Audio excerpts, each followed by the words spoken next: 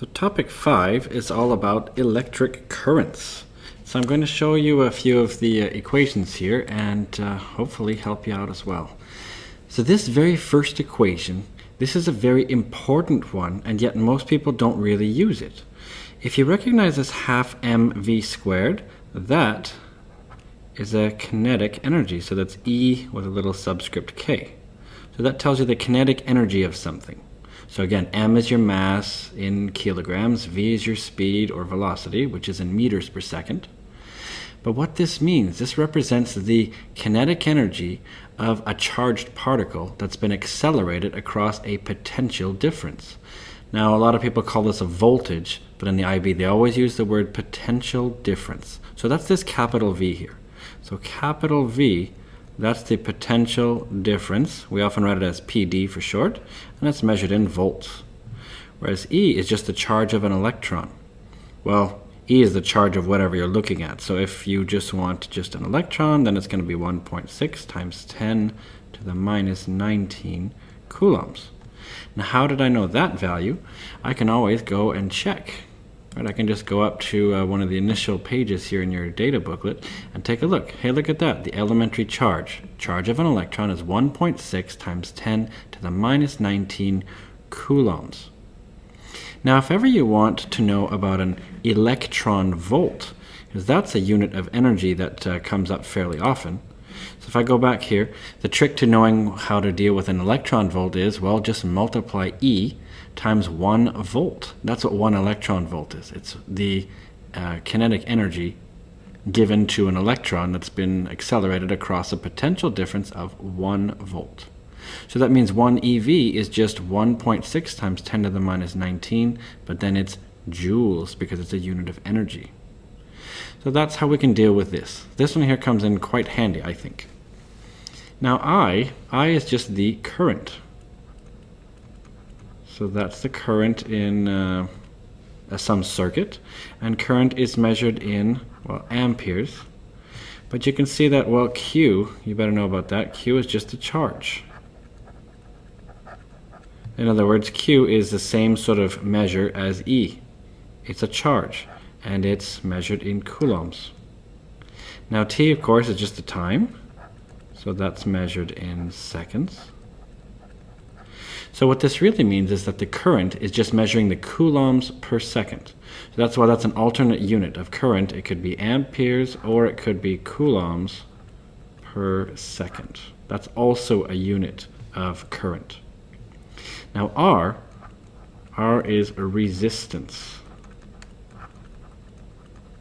So resistance is measured in a unit called ohms. So it's a Greek capital omega it's called. This right here. It looks like a horseshoe some students call it. So this tells you basically how the resistance and the potential difference and the current are related. This one right here is often known as Ohm's law. That's what a lot of people call it. Um, so maybe we can just put a little circle around that and say that is Ohm's law. But a lot of people learn Ohm's law not in this form right here but instead as V equals IR. Now do you have to memorize that? No, it's the same thing as this equation. Just solve for V by itself. See that if you get V on its own, you have to multiply both sides by the I, so that's why you get an IR over here. So that's the resistance in a circuit. So those are the three main things uh, you need to learn about in a circuit is voltage, which is what a lot of people call it, but it's really a potential difference. That's measured in volts. Then you have the current, which is measured in amperes, and you have the resistance, which is measured in ohms. Now, what is this one useful for? This is just a wire. So if you're actually looking at some sort of wire, well then you can actually talk about some more specific things. So um, R is still the resistance, but this time rho is a property. So this is a Greek lowercase r here. So this is rho. And this is the resistivity. That's the resistivity. And I'm going to tell you about the units in a second here. Now L, that's the length of the wire. So that length will be measured in meters. And A is the cross-sectional area of this wire. what this means is that if we took some sort of wire, so let's say this is like a little tube right here, so I'm just trying to draw a three-dimensional uh, wire here. If we looked at this right here, well, this right here would be the length here. That would be the length of the wire. And if we took the cross-sectional area, in other words, the area of this circle here, that would be A. So that'd be the cross-sectional area, and that's measured in meters squared. So if it's a circle like this, which most wires are, then this would be just pi r squared, where r is the radius of this wire. So that would be the area right here, that's A. Now if we want the resistivity then, how can we actually find the units? Well, if you look at this, imagine getting resistivity on its own. So in other words, I just want to solve for it on its own here. So I'm just going to do it off to the side. So I have R equals rho L over A. I want to get resistivity by itself, so I have to put the A on top, so that's going to be RA, and I have to divide by L. That's what rho is going to be measured in. Now, as far as the units go, I'm going to put little square brackets to denote just the units here. So I'm just putting square brackets just to tell me about the units here. So these are ohms, that's what resistance is measured in. And the cross-sectional area is in meters squared. And L is in meters.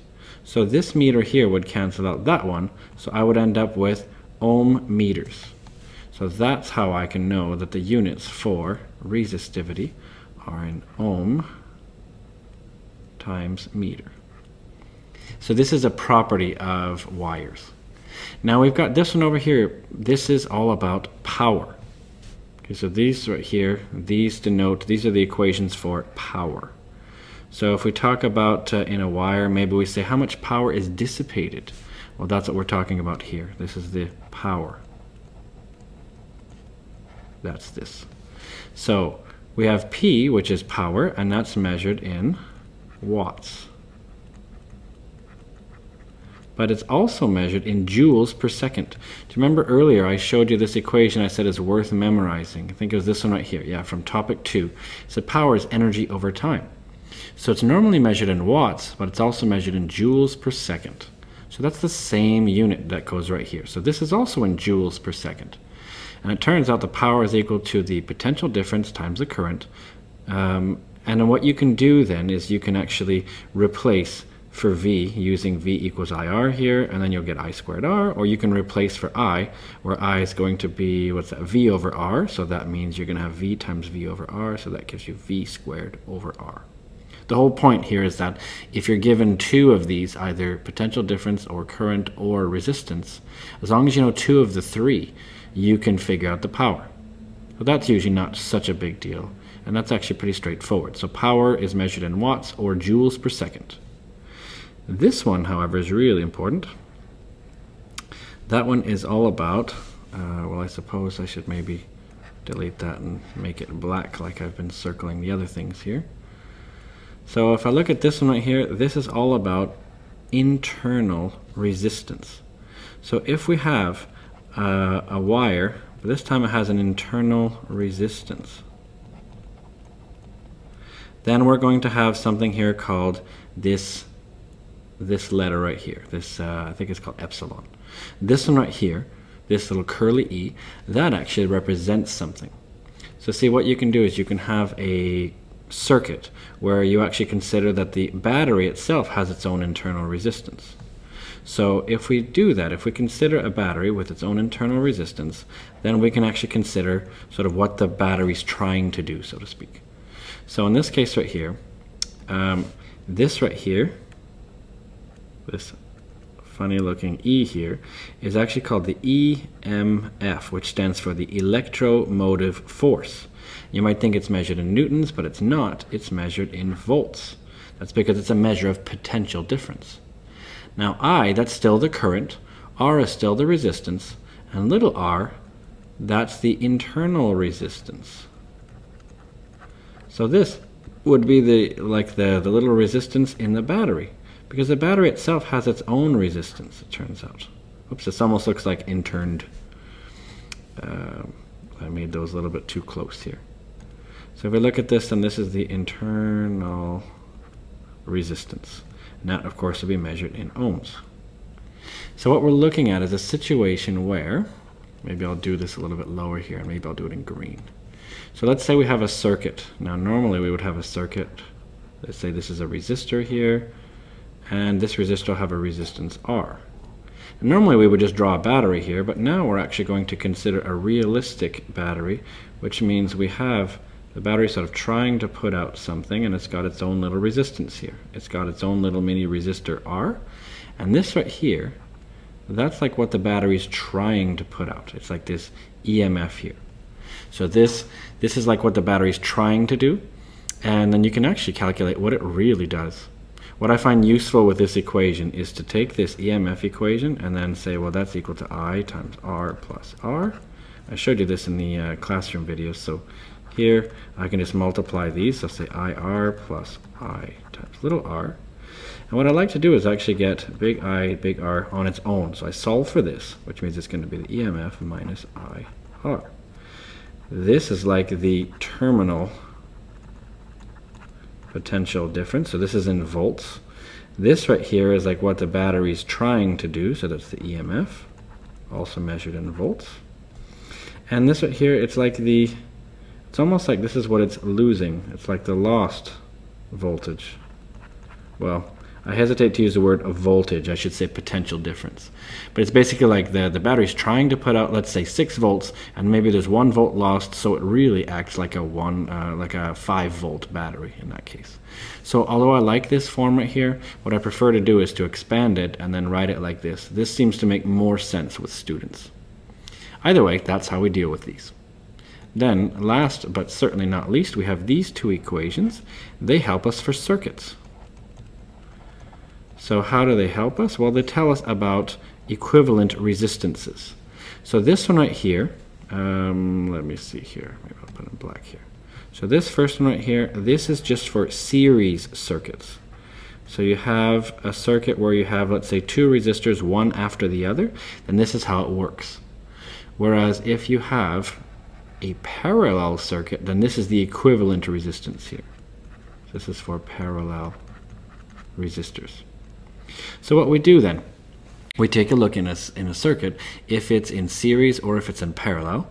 In other words, you know, if the resistors go one after the other and the, uh, the current doesn't have any choice of where it goes, or if we have a parallel circuit where it does have a choice, then we can figure out and replace basically all the resistors with just one equivalent resistance here, some, some you know, big R here. It would be the equivalent of if I had, let's say, instead of just this one R, let's say I had like three or four more of them all lined up like this right here. Well, I could rewrite it as one resistor. In other words, the battery is going to behave as if there's one resistor that's equal to just the sum of the resistances of all these ones over here. That's how it'll work. Whereas if it was in parallel, it would behave like this. So that's how we deal with things from topic uh, 5, which is electric currents.